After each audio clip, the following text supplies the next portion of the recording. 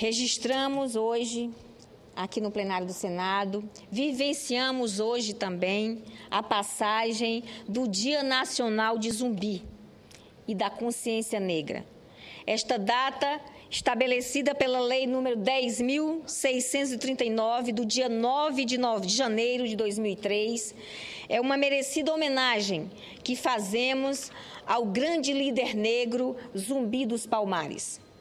Falo, senhores senadores, de um destemido negro que, no período Brasil colonial de nossa história, lutou até a morte contra a escravidão e pela liberdade do seu povo. A morte de Zumbi se deu no dia 20 de novembro de 1695, no Quilombo dos Palmares, uma comunidade localizada no Nordeste brasileiro, notadamente na Serra da Barriga, que fica na divisa entre os estados de Pernambuco e Alagoas refúgio para os escravos que conseguiram escapar de fazendas, de prisões e de senzalas. O Quilombo dos Palmares era uma espécie de república que chegou a ter mais de 30 mil habitantes. Símbolo da resistência ao sistema escravista, os quilombos representavam uma forma alternativa de manutenção da cultura africana. O último país a abolir a escravidão, o Brasil foi a segunda maior nação escravista nos últimos séculos. Alcançou o título de maior importador de escravos da história moderna.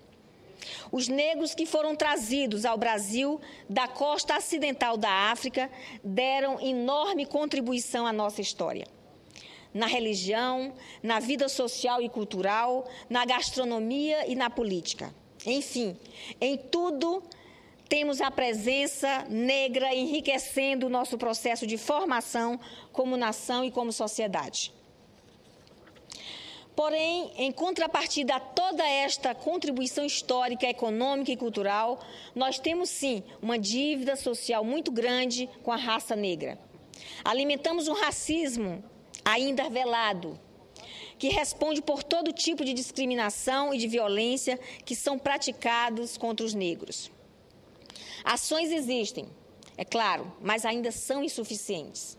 Por toda a sua representatividade histórica, o 20 de novembro, que já é feriado em mais de 500 municípios do país, foi incluído no calendário escolar.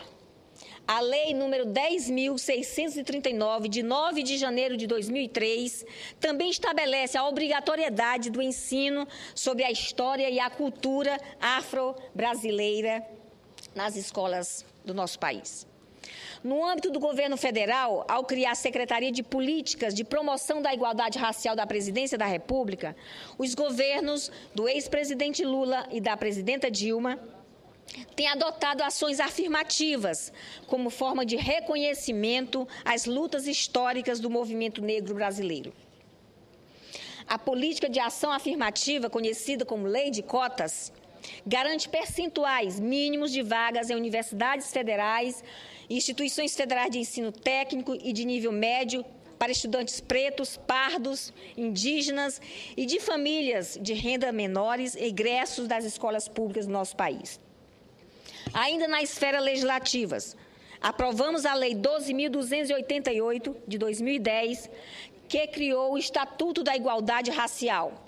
Este instrumento direcionou o Plano Plurianual PPA 2012-2015 e resultou na criação do programa Enfrentamento ao Racismo e Promoção da Igualdade Racial.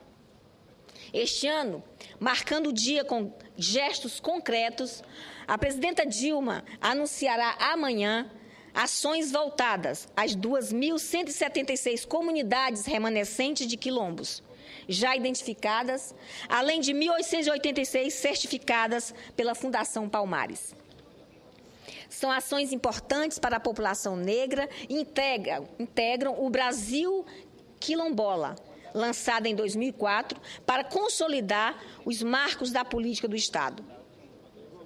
Avaliando a mudança dos tempos, pensamos que fizemos muita coisa. Porém, tudo o que foi feito até então ainda é pouco diante da enorme dívida social histórica que a nação tem sobre seus ombros diante da violência secular praticada contra os negros. Uma amostra dessa violência está evidenciada na pesquisa Violência contra a, contra a Juventude Negra do Brasil, realizada pelo Data Senado. Esta pesquisa revelou que a maioria dos homicídios que ocorrem no Brasil atinge mais as pessoas jovens. Conforme os dados do total de vítimas em 2010, cerca de 50% tinha entre 15 e 29 anos. Mas o recorte de raça revela que desses, 75% são jovens negros. Realizada em outubro último, em 123 municípios do país, a pesquisa alcançou 1.234 pessoas com 16 anos ou mais e com acesso a telefone fixo. A maioria dos entrevistados, 66,9%, afirmou serem os negros as principais vítimas da violência. Apenas 14% disseram serem os brancos. 3% apontaram os indígenas e 1% os asiáticos. Por isso, eu queria encerrar aqui o meu pronunciamento com um texto de Joaquim Nambuco, um abolicionista que, ao entrar para a Câmara Federal, trouxe para a cena política nacional a campanha pelo abolicionismo. A escravidão permanecerá por muito tempo como a característica nacional do Brasil. Ela espalhou por nossas vastas solidões um, uma grande suavidade. Seu contato foi a primeira forma que recebeu a natureza virgem do país. E foi a que ele guardou. Ela povoou como se fosse uma religião natural e viva, com os seus mitos, suas legendas, seus encantamentos. Insuflou-lhe sua alma infantil, suas tristezas sem pesar, suas lágrimas sem amargor, seu silêncio sem concentração, suas alegrias sem causa, sua felicidade sem dia seguinte. É ela, o suspiro indefinível que exalam ao luar as nossas noites do norte. As palavras de Joaquim Nabuco ainda prevalecem no cenário de nosso país, mas alimenta o sonho haver em tempo curto para o racismo velado e cruel que, infelizmente, ainda existe em nossa sociedade.